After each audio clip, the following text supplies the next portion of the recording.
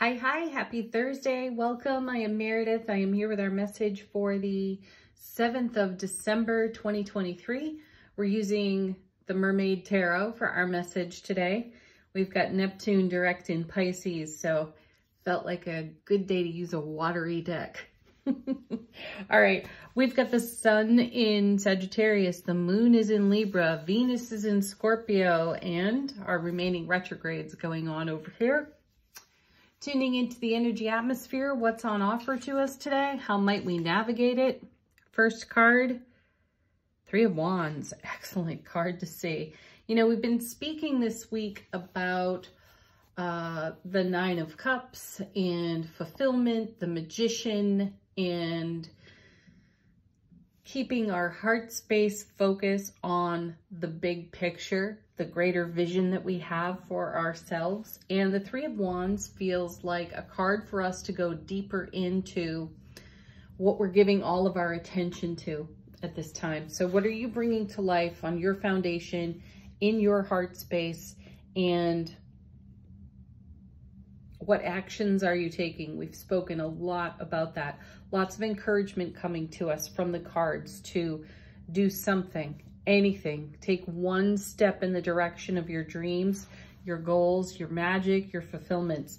And here's the Three of Wands to give a little bit more of that same encouragement. And then our next card is the Nine of Pentacles. Great card. This is all about our self-relationship. I know when we turn over the Nine of Pentacles, most people are concerned when they see it in the way that they are concerned when they see the Hermit because it indicates uh, a solitary energy, an individualized energy. And most people speak of this card in connection to relationships, meaning they're going to be single, solitary, and alone. While this card indicates your self-relationship, the relationship you have to you, it indicates and encourages us to go deeper into our self-relationship, the inner harmony of our divine masculine, divine feminine in connection combination with our super consciousness, which is all of our intuitive gifts. And we have many of them. So I feel that the Three of Wands is encouraging us deeper into self-relationship and deeper into the connection, the waking conscious connection that we have to our super conscious intuitive blessings and bringing them into the now and using them for our highest and greatest good. You know, the Three of Wands is no slouch of a card. It's in the suit of wands, you've got fire and enthusiasm and passion and motivation. And then we have nine of pentacles. What are you doing with it personally? What are you doing with all of that energy? And if you're not doing anything with it, now is the moment to reconsider how you want to invest. So the cards have been pushing us in this direction for months, really. And certainly the messages have amped up over the past several weeks. And as I've mentioned so frequently in recent readings, we saw a lot of the Three of Swords, and we're using that in a way, in the silver, silver linings way. Uh, what was the greatest outcome to some of the greatest challenge that you have faced and grown through, healed with, and how have you channeled that into your now? So the Three of Wands and the Nine of Pentacles are having us do just that. Also, I feel that together they're beckoning us deeper into what we're nurturing in heart space. Let's see what's next. and there's the High Priestess. She has not wandered too far from us no matter what deck I use.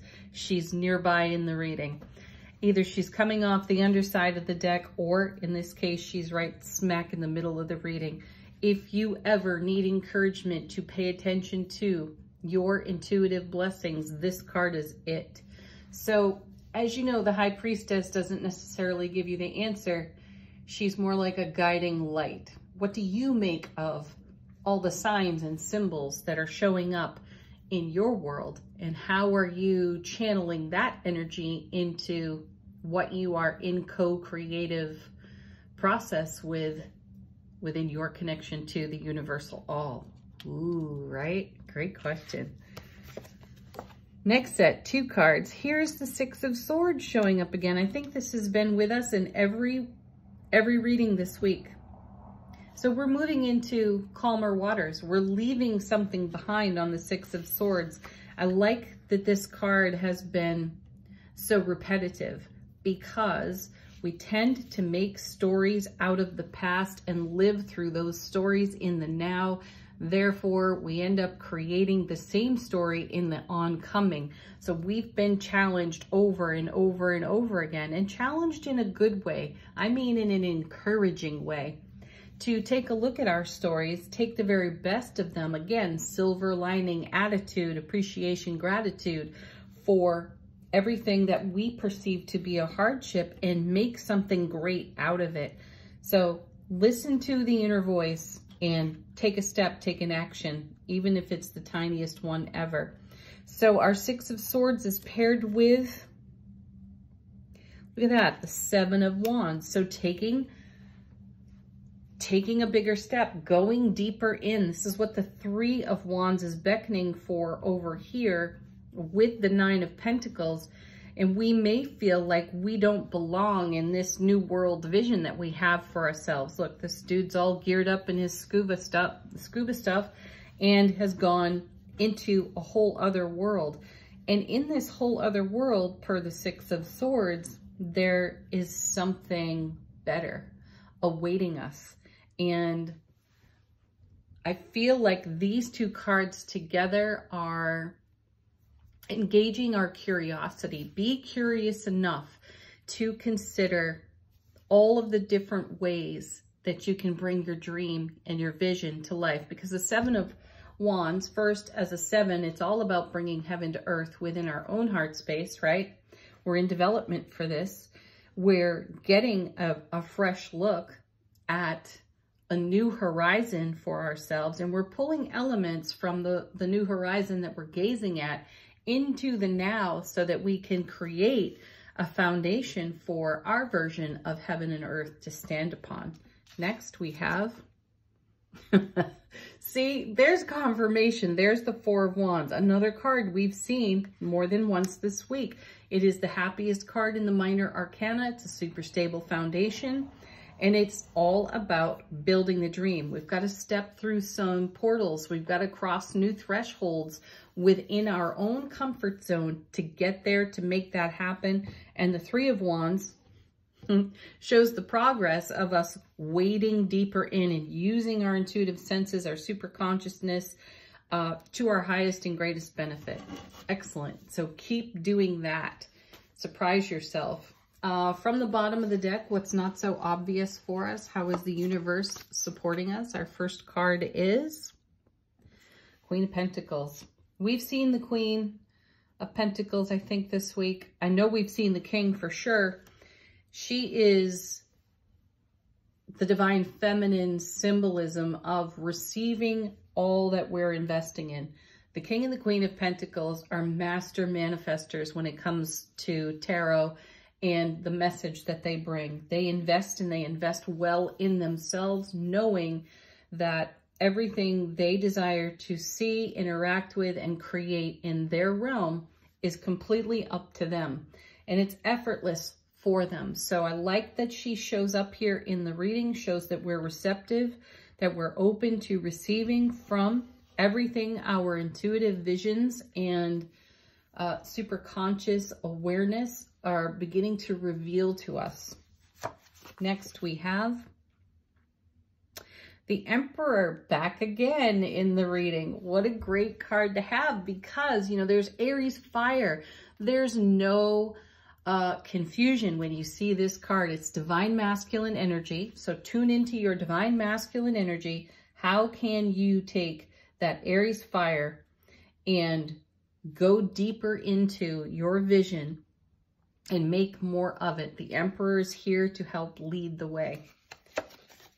Next, we have, yeah, look at this, the Wheel of Fortune. Oh my God, you just told me to stop there, so I will. This is the divine delivery system. It's turning in our favor. It's moving to our highest and greatest good. And this is us in alignment with our destiny. And when this card shows up, it really is the reminder that nothing can get by us. Everything that's meant for us will come to us. These cards are asking us, what is your participation level right now? And how important is your Four of Wands happiness, right? It probably means everything to you. So the cards are encouraging you to take a step, take an action, to wade deeper into your own journey. Let's tune in now to Angel Answers. If you have a question, put it to this deck. If you're looking for a sign or a symbol, please allow the cards to bring it to you. Or let them confirm something unique and personal to you. First card flipping over in the shuffle is Peaceful Resolution. Trust that. Trust that you are creating a peaceful resolution to any challenge you're facing in the moment. Sometimes our greatest challenge is our Nine of Pentacles. It's in our self-relationship. And the old stories we tell ourselves. Okay. Oh, wow. well, this is unique for us. Now, here's the emphatic no. We got the quiet no the other day. Here's the emphatic no. Where do you need to say no? Have you overscheduled yourself?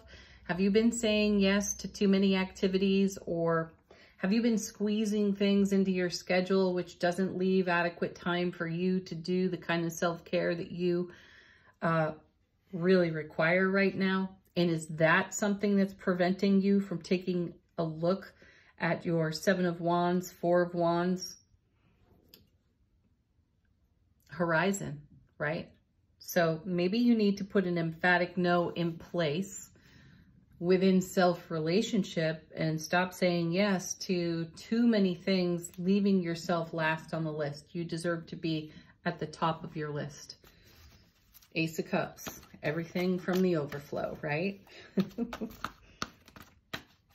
Some of you may have asked a yes, no.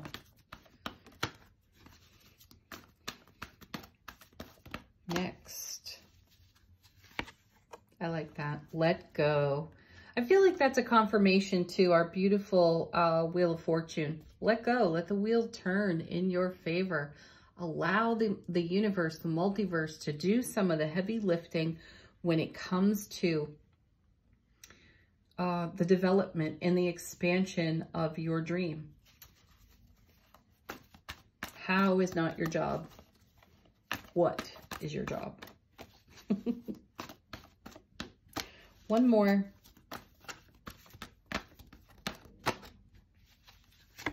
Excellent. Emphatic success. Yeah, let go. Let yourself be blessed by your own success. Fantastic.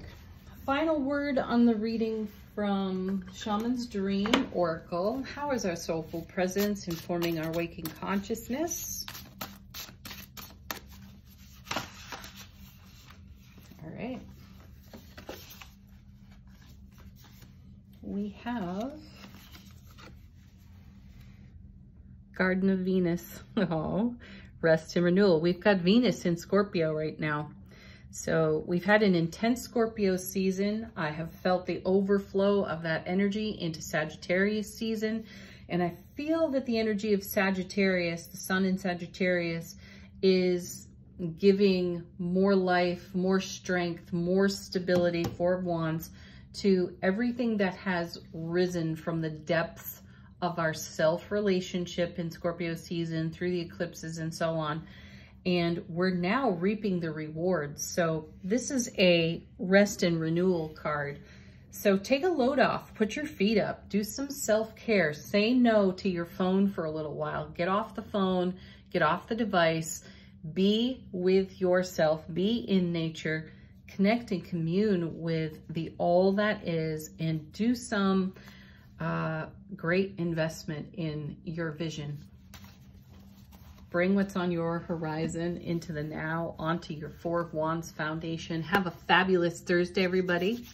Peace, love, happiness, laughter, fun. Namaste.